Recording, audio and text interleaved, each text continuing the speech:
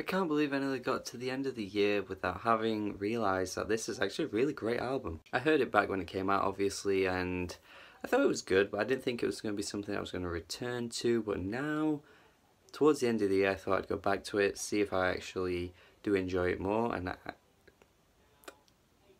I do. I do.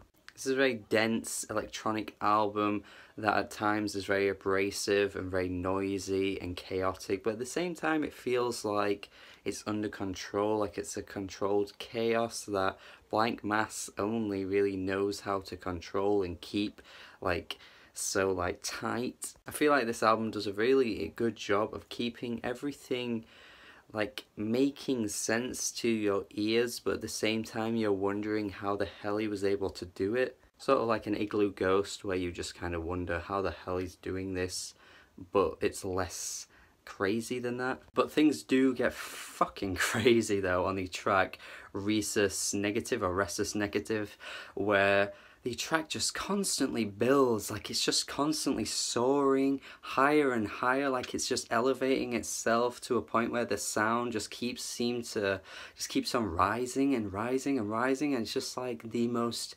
epic electronic song I think I've heard all year. It's oh, honestly listening to it it's just such a confusing thing for the ears because you're just like how does it keep how does it keep going? It's just like constantly like speeding up and speeding up. It's it's really just weird. It's in a way actually a little bit like the electronic version of Story 2 by Clipping where that track kind of keeps on just speeding up, speeding up and David's flow just keeps on like like mounting upon itself. This is like the electronic version of that without a rapper singing, uh, rapping over it. Other tracks don't quite have that epic climax as a Rhesus Negative, but we do get a lot of great tracks across the whole album. It's only like eight tracks long. It's not that uh, long of an album. Some tracks do kind of extend themselves and go on, but it never feels like they're dragging. Sorry, I said eight. It's actually seven tracks, but funny thing is, the shortest track on the album, the opening track, is probably my least favourite because I feel like that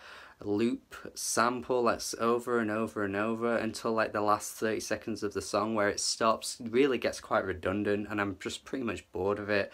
But to be honest I feel like if I just skip that track then once like the manic electronic drug fusion just uh, kicks in and makes your head go crazy then i'm kind of in a rush like to keep it going and then there's no points where i'm like okay i'm bored now but aside from that, honestly, there aren't many complaints. Um, yeah, I just wish I got on this album earlier in the year and appreciated it back then because I liked it, but just returning to it now has made me realise like what the hell was wrong with me. This is absolutely one of the best albums of the year.